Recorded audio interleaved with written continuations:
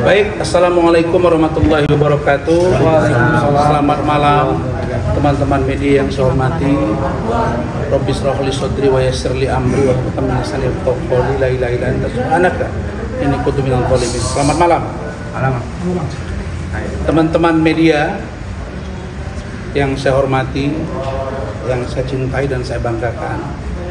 Saya bersama tim hukum saya Saudara Rahmat Riyadi SHMH, Saudara Bui Rangga SHMH, Saudara Aufar Al-Wafi SH, dan Saudara Rahmat Rizki. Ya, ini lagi magang di kantor saya, didampingi oleh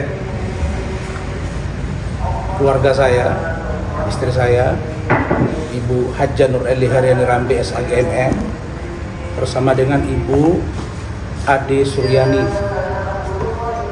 ahli media kebidanan. Teman-teman semua,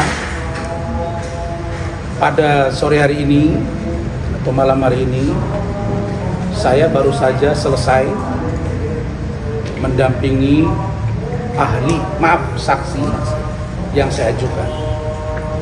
Dan saksi tersebut sudah memberikan keterangan dan kita pure pada aspek dugaan fitnah dan atau pencemaran nama baik dan atau ujaran kebencian terhadap apa yang dilakukan diduga dilakukan oleh saudari Nikita Mirzani terhadap saya Razman Arif Nasution alias Dr. Ran dengan Bapak Umar Bajideng.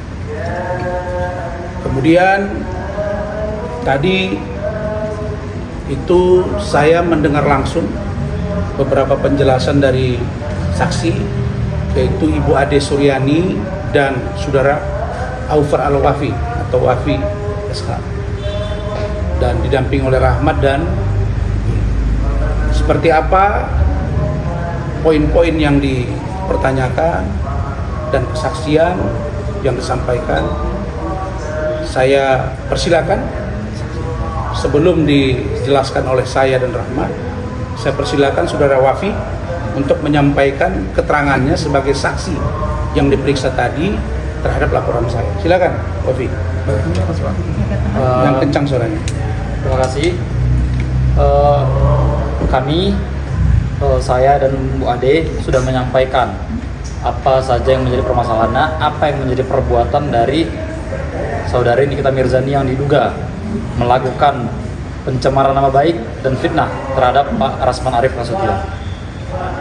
Kami menyaksikan ataupun melihat langsung dari akun TikTok maupun Instagram maupun penyebaran melalui YouTube yang dilakukan oleh Nikita Mirzani, saudari Nikita Mirzani atas pencemaran nama baiknya.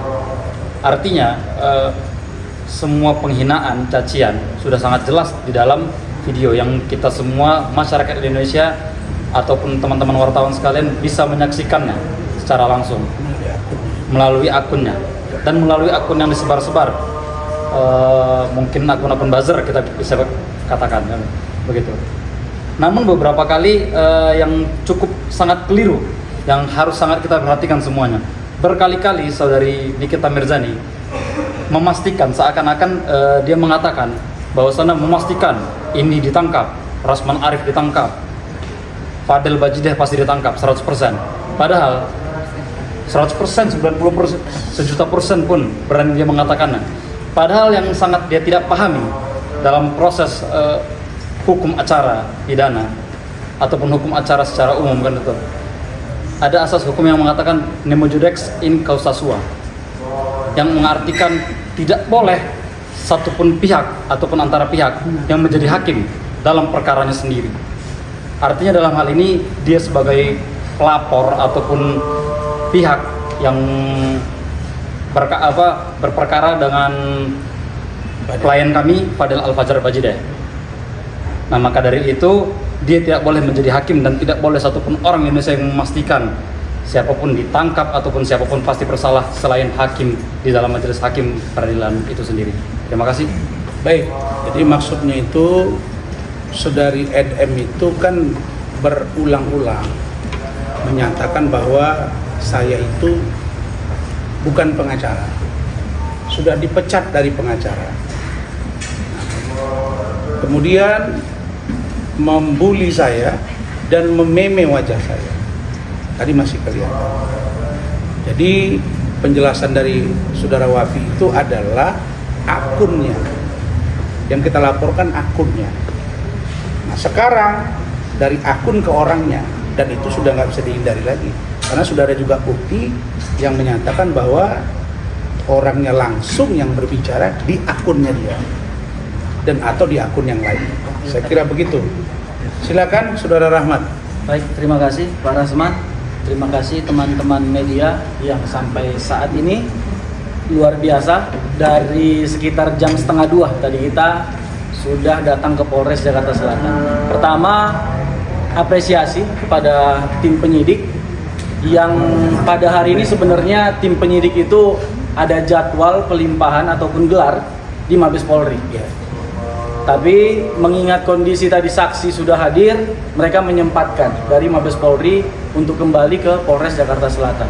Kami sangat mengapresiasi ini, walaupun tadi kami sempat menunggu sekitar dua jam. Tadi ketika pemeriksaan sebenarnya tidak banyak pertanyaan. Setiap saksi kurang lebih tadi sekitar 16 pertanyaan. Dan alhamdulillah saksi dengan tegas dan percaya diri menjawab semua pertanyaan-pertanyaan tersebut.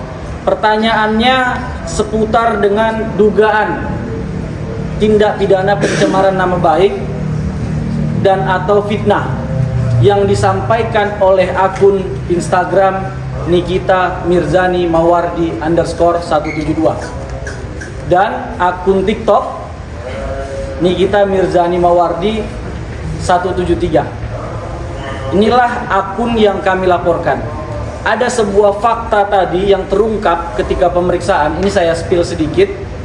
Bukan bahagian dari penyelidikan tapi ini adalah keterangan yang disampaikan oleh klien kami ataupun keterangan yang disampaikan oleh saksi. Apakah kami mengetahui pemilik akun tersebut adalah saudari Nikita Mirjani jawaban saksi tadi sangat sederhana. Bahwa akun tersebut adalah akun yang sudah centang biru di mana yang kita ketahui selama ini akun yang centang biru adalah akun yang sudah terverifikasi. Artinya antara pemilik nama akun itu sudah dipastikan adalah orang yang sama dan telah berkesesuaian. Dan yang saya pahami ketika kita mendaftarkan centang biru, kita harus juga menyampaikan KTP kita dan juga menyampaikan foto kita dan juga menyampaikan berita-berita tentang kita di media, baik di televisi, atau di media Google. Kan gitu. Artinya tidak ada keraguan. Bahkan saksi pun tadi menegaskan bahwa saksi meyakini keseharian akun-akun tersebut mengupload tentang aktivitas saudari Nikita Mirzani.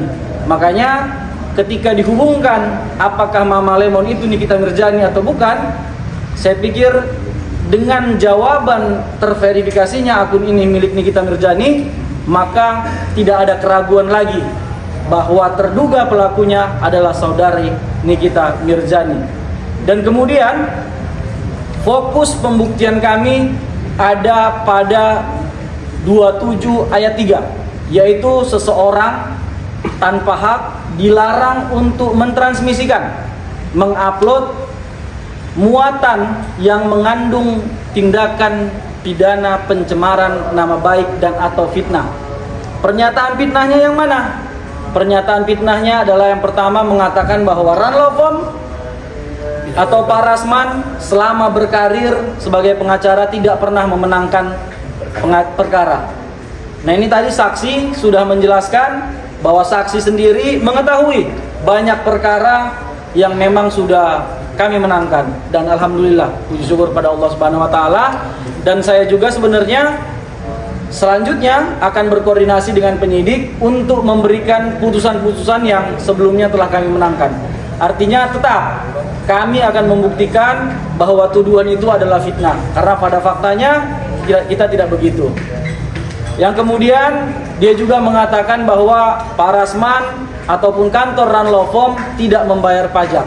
Nah ini juga saksi sudah membantah dan saksi juga sudah menyampaikan bahwa Pak Rasman adalah pribadi dan ataupun kantor yang taat akan pajak di negeri ini. Jadi insya Allah kita tidak ada mangkir dari pajak, kita taat membayar pajak. Dan kemudian tindakan-tindakan lain ada sebuah postingan yang diduga di dalamnya terkandung unsur uh, kata asusila. Artinya sebenarnya ini saya mohon maaf, saya tidak bisa sampaikan kata-katanya karena memang ini bagian dari penyidikan. Tapi sebenarnya kalau teman-teman jeli, postingan ini masih ada di TikTok yang bersangkutan. Tadi juga kami sudah periksa dan masih ada. Nah kemudian kami kenapa hari ini menghadirkan dua orang saksi? Karena secara hukum dikenal unus testis, nulus testis. Satu orang saksi bukanlah saksi. Makanya saksi yang menyatakan atau menyaksikan dalam perkara ini sudah terpenuhi. Mulai hari ini sudah dua orang saksi memberikan dengan keterangan yang sama. Tidak ada keterangan yang berbeda satu sama lain. Artinya saksi-saksi ini dapat dikategorikan sebagai saksi yang memang punya nilai hukum. Kemudian alat bukti lain yang sudah diajukan seperti pada preskon yang pertama yaitu dalam sebuah press disk ada sekitar 7 video. Dan kemudian ada bukti surat. Walaupun bukti surat ini sedang kami persiapkan dan harusnya dalam minggu depan sudah kami sampaikan kepada penyidik untuk selanjutnya penyidik bisa memanggil terlapor atau pemilik akun dari Nikita Mirzani Mawardi underscore 172. Saya pikir itu dulu Pak. Baik. Yang bisa disampaikan. Terima, Terima kasih, Bu Rangga.